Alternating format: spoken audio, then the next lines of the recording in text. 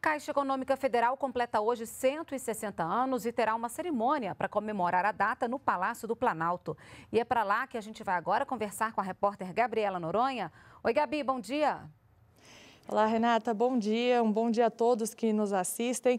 É isso mesmo, o presidente Jair Bolsonaro participa dessa cerimônia hoje às 11 horas da manhã aqui no Palácio do Planalto, que comemora os 160 anos da Caixa Econômica Federal.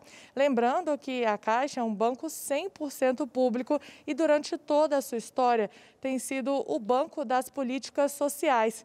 Hoje é o banco do FGTS, do Bolsa Família, do FIES e também da Casa Própria. E olha, a Caixa comemora então 160 anos nesta terça-feira com um conjunto de iniciativas que foram fundamentais no enfrentamento à Covid-19 no país, como, por exemplo, o auxílio emergencial. Vamos ouvir o que disse o presidente da Caixa, Pedro Guimarães.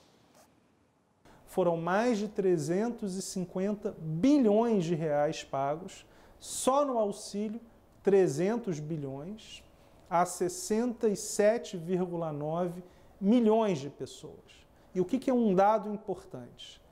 38 milhões dessas pessoas não estavam em nenhum banco de dados do governo, ou seja, eram os invisíveis.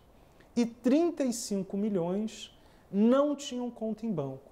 Então é muito importante, porque essas pessoas agora têm no banco digital da Caixa não pagam nada, ou seja, a tarifa é zerada, e vão continuar com essas contas depois da pandemia. E olha, Renata, quem quiser acompanhar o evento, a TV Brasil vai transmitir ao vivo a cerimônia, inclusive pelas nossas redes sociais.